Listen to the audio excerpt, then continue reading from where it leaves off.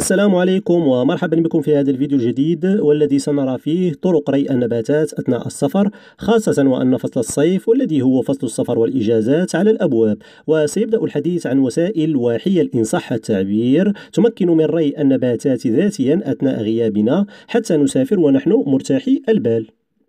نبدأ بالطريقة الأسهل وهي وضع إناء الزرع في حوض مليء بالماء.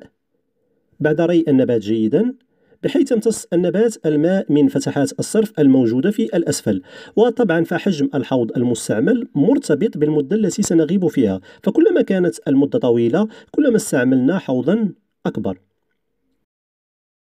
ثانيا طريقة التقطير باستعمال قنينة بلاستيك. وهناك عدة طرق لاستعمالها وكلها ناجعة.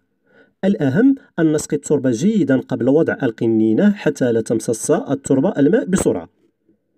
نصيحة أخرى قبل السفر. من الأفضل نقل النباتات لمكان أكثر برودة. وبعيدا عن أشعة الشمس مع تجميعها في مكان واحد حتى تستفيد من الرطوبة وهكذا نعطيها فرصة أكبر للعيش.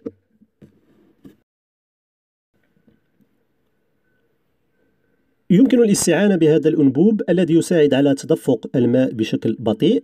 وبالوتيرة التي نريد مما يساعدنا على عدم استنفاذ الماء بسرعة وهو متوفر في محلات بيع لوازم الزراعة.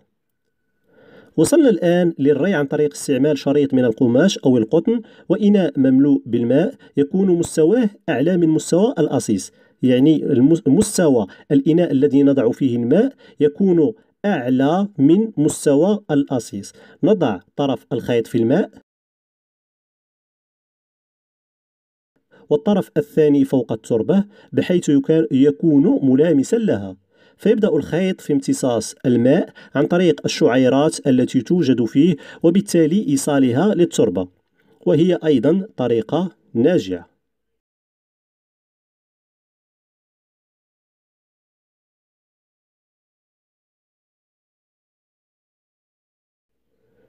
نستطيع أيضا استعمال هذه الطريقة.